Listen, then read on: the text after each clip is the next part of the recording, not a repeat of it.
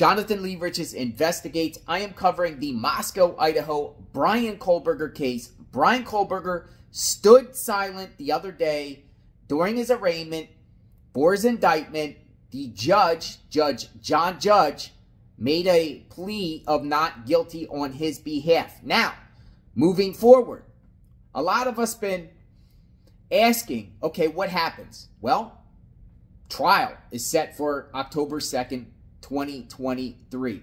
And a lot of people are like, two options here at trial or before trial.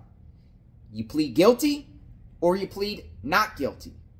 But there's another option that no one is really talking about at all that Bryan Kohberger could do.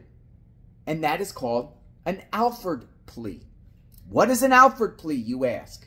An Alford plea. I'm going to share some information about an Alford plea because it could be a very possible scenario regarding a resolution with the Bryan Kohberger case. Check it out.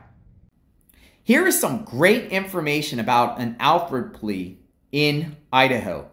Can I plead no contest in Idaho? What is an Alford plea? Sometimes defendants want to plead guilty and take advantage of an offer by the prosecution, even though they honestly feel that they are not guilty. This usually happens in cases where the prosecution offers a particularly favorable plea settlement and the defendant believes there is a strong likelihood of being convicted at a jury trial. In some states, the defendant has the option of pleading no contest. In other words, the defendant will agree to not contest the case while conceding to serve a particular sentence. Idaho does not accept no contest pleas. Idaho, however, does allow defendants to enter Alford pleas. An Alford plea is a plea where the defendant maintains his innocence but pleads guilty anyway because of the overwhelming evidence against him. When pleading guilty pursuant to an Alford plea, Idaho requires a substantial factual basis for the plea. If there isn't a factual basis for the plea, then the courts will reject the guilty plea, and the defendant's case will continue on to a jury trial. Courts are given wide discretion when it comes to accepting or rejecting Alford pleas. Some judges have their own policies regarding Alford pleas. For example, some judges will not accept an Alford plea unless there is some evidence that the defendant has no recollection of, of what happened. For example, the defendant was too intoxicated to remember what happened. Make no mistake, an Alford plea is a guilty plea for all intents and purposes. Alford pleas can often carry with them unintended consequences, so you might want to think twice before you enter an Alford plea. For example, well, we're not going to read these offenses here.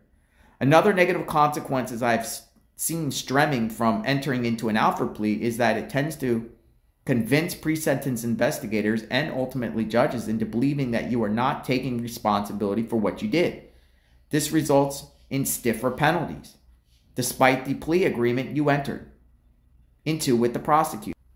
Really, there are few practical positive consequences to entering into an Alford plea. Rather than a normal guilty plea, most people enter into them because they refuse to admit to something they didn't do.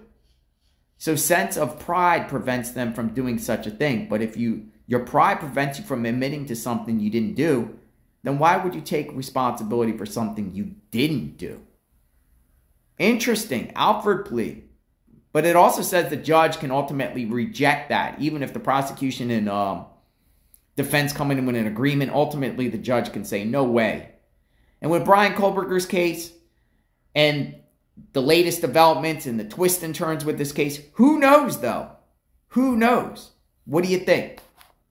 So basically, Bryan Kohberger still maintains his innocence, but knows the prosecution has enough evidence to convict him. So you make a Alford plea, similar to a no contest plea. Now, some of you guys might say, no way. But does the prosecution want to prevent all these witnesses from going on the stand? Having a long, dragged out trial that cost a lot of money, putting, uh, you know, the genealogy, DNA testing process up on the stand to be questioned and analyzed by Bryan Kohberger's defense. Alford plea. Drop the DP. Is that possible? Maybe. But it does give you that option in Idaho. A lot of states have it. Some states it's banned. But it's it's the same as a no contest plea. How would the victim's family feel if the prosecution goes that route?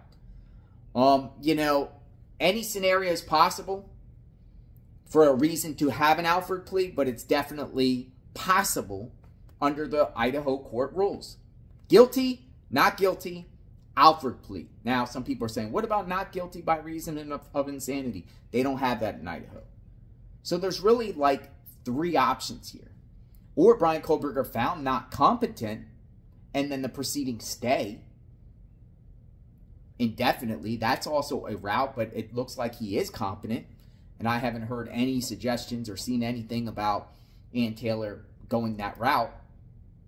Not guilty, guilty, Alford plea.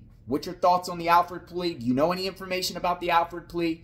Subscribe to my channel, like, hit the notification button. Every scenario moving forward, we are analyzing and dissecting what path is Bryan Kohberger going to take with this case now that it's been past the indict, you know, past the arraignment of the indictment stages? Will his lawyers file a motion to suppress evidence, uh, dismiss indictment before trial? Remains to be seen. Change of venue, change of you know, judge recusal. What's your thoughts? We'll talk soon. Stay tuned.